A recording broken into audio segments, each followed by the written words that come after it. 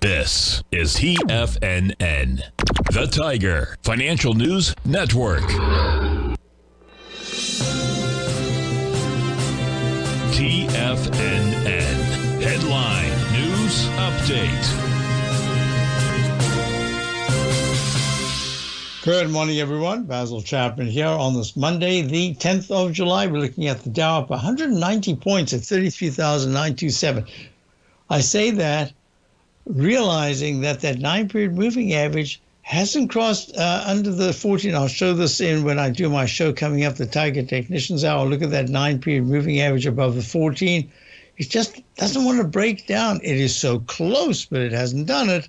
When it does, then you'll start to see a little bit more action to the downside. Meantime, sideways action, uh, very impressive after the turnaround on Friday, that Chapman Wave inverse Roman candle. And I was going to tell my subscribers, and I just said, eh, I'm not going to bother today. I did mention it, but I didn't go into detail that if there is a price movement that holds for about 90 minutes above 33,920, uh, we could get get a test of the uh, highs of uh, Friday. Wow, look at that. So here we go. S&P, uh, very nice turnaround here. It was a little weaker, and it's holding okay. It's not looking too good. It's up 10 at 44.08.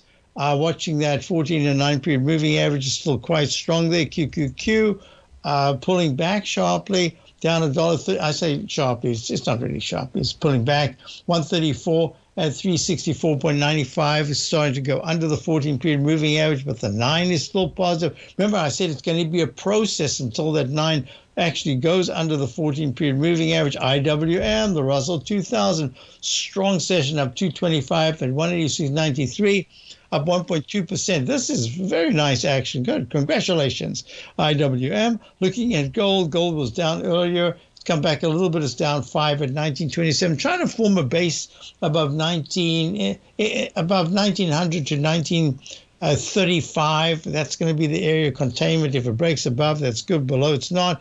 TLT, that's bonds.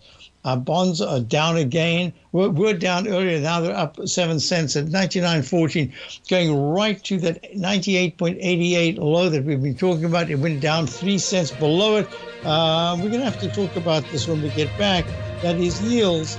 And we're looking at the crude oil up, uh, down 15 cents, holding quite nicely, starting to improve a little bit. I'll be back. Basil Chapman, Tiger Technicians Hour. Check out my opening gold news. See you in a moment.